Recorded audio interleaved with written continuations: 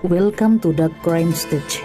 Bersama saya Setia akan membawakan cerita kriminal dan kisah sedih dari dalam dan luar negeri. Jangan lupa untuk subscribe. Hai sobat, bagaimana kabar kalian? Semoga bahagia, sehat selalu. Kali ini saya akan bawakan cerita yang datang dari kota Minahasa, Sulawesi Utara. Kala itu pagi hari, Jumat 3 Mei tahun 2024. Warga Desa Tambuan, Kecamatan Maisaan, wilayah Tompaso Baru, Kabupaten Minahasa Selatan. Dibawakan dengan peristiwa menyedihkan. Apa yang sebenarnya terjadi? Diketahui seorang istri dan juga ibu muda yang bernama Rohinda Andrila Tompunu, 24 tahun, harus merekang nyawi akibat aksi keji sang suami sendiri Rain, 26 tahun. Lalu, apa motif pelaku tega berbuat demikian? Dan bagaimana kronologi selengkapnya? Kapolres Minahasa Selatan, AKBP Ferry Sitorus, pada Selasa tanggal 7 Mei tahun 2024 menjelaskan kronologi peristiwa penghilangan nyawi tersebut. Kejadiannya di pagi hari. Ada suara yang membangunkan pelaku. Kemudian Entah apa yang difikirkan. Tiba-tiba saja, pelaku mengambil sebilah senjata tajam, lalu langsung melakukan tindakan penganiayaan terhadap sang istri sendiri. Kemudian, pelaku menuju ke rumah mertuanya yang berada sekitar 300 meter dari rumah korban. Hal keji yang sama pun ia lakukan. Ia menganiaya sang mertua dan melukai anggota tubuhnya. Sebab mendengar suara keributan, salah satu anggota Babin Kaptipnas yang tinggal berdekatan dengan rumah korban segera mendatangi lokasi dan mengamankan pelaku yang sedang kalap tersebut. Saat ini pelaku sudah diamankan di Polres Minahasa Selatan. Diketahui korban memiliki dua orang anak laki-laki berusia 6 tahun dan seorang anak perempuan yang baru berumur tiga mingguan. Sang ibu korban, Jelti Welang mengaku bahwa pasangan suami istri tersebut terlihat saling menyayangi dan saling mencintai. Bahkan dikenal sebagai seorang suami yang rajin dan ulet dalam bekerja. Namun, kenapa hal yang menyedihkan ini bisa terjadi? Menurutnya peristiwa ini juga sangat mencederai hati dan batin para orang tuanya yang mengalami luka tebasan oleh sang menantu. Saat ini korban sedang dirawat di rumah sakit Profesor Kando, Malalayang, Manado. Karena mengalami luka yang sangat serius, jadi, bapak mertua harus dirawat inap di sana. Mengutip dari Mando Pos, polisi masih terus menggali motif dan keterangan dari pelaku. Refrain, si pelaku yang merupakan menantu dari Bapak Jerry Tompono, 48 tahun. Kini harus berurusan dengan kepolisian.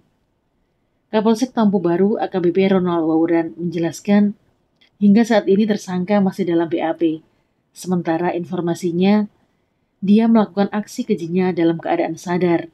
Waktu dijemput, ia mengatakan istrinya sering mengatakan bahwa dirinya lebih sering memihak keluarga. Sepertinya lebih berat kepada keluarganya. Itu yang dia katakan di pagi hari waktu kami jemput. Di sisi lain, Kabit Humas Polres Minsel Cornelis Kainama menambahkan adanya isu yang berkembang di masyarakat bahwa tersangka mengalami beberapa gangguan kejiwaan. Namun tuntutan pidana tetap melekat terhadap tersangka. Kami tidak bisa menyimpulkan bahwa tersangka mengalami gangguan kejiwaan. Kita harus menunggu analisis dokter ahli kejiwaan terlebih dahulu untuk membuktikan hal tersebut benar atau tidak.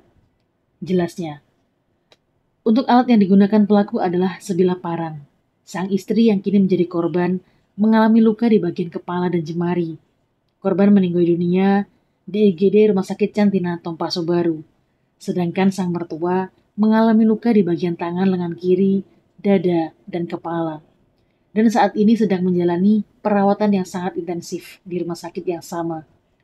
Sungguh miris dan menyedihkan sobat. Gak kebayang betapa sedihnya anak yang masih kecil harus kehilangan ibu tercintanya. Kasus penganiayaan ini menyita perhatian masyarakat dan media Indonesia respon cepat dari pihak kepolisian untuk mengusut dan menuntaskan perkara, mengamankan pelaku dengan segenap barang bukti.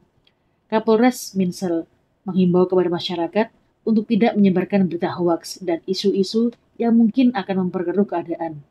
Percayakan penanganan kasus kepada pihak yang berwajib.